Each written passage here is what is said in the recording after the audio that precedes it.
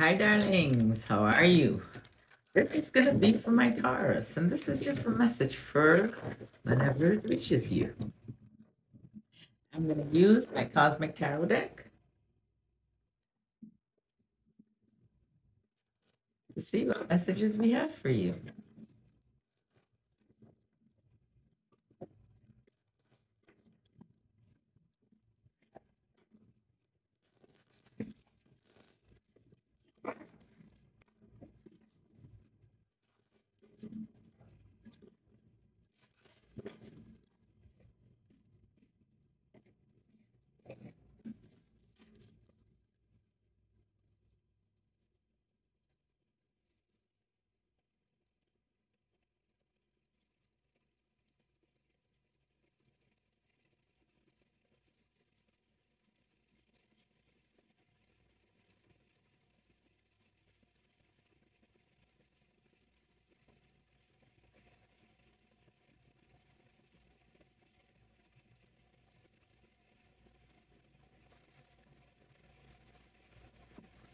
So, Taurus, this is for you.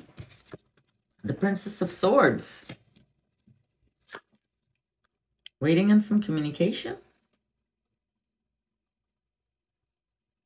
Or you got some clarity? The King of Swords. You're thinking about communicating with someone. This could be, no, if not, this is could uh, Gemini, a Libra, or an Aquarius. This is the King of Swords.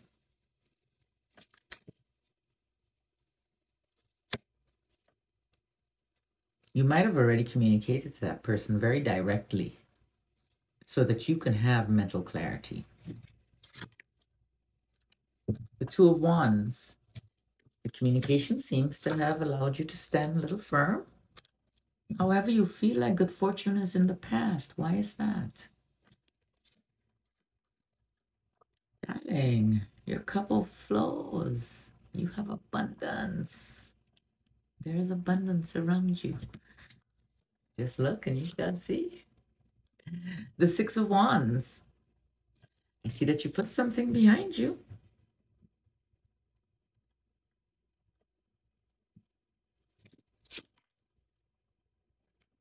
And the moon. You are seeing things clearer. Have clarity.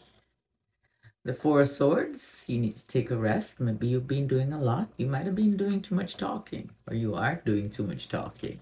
or you might just be chatting a lot with a few people, telling them what's going on.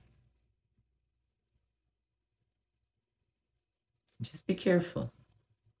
Just rest, okay? You might be telling them about some committed relationship or marriage or something. Because this could mean new love. The Nine of Pentacles. Now, what is this about? Giving birth to your dreams?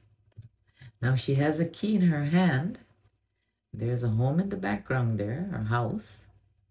So maybe some of you will be signing a contract to move into a home.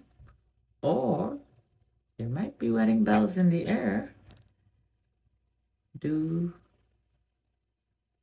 to that. That could mean pregnancy too. Or it could mean you just came into some money and you're seeing the rewards of whatever it was you have been working on. Now you need to rest.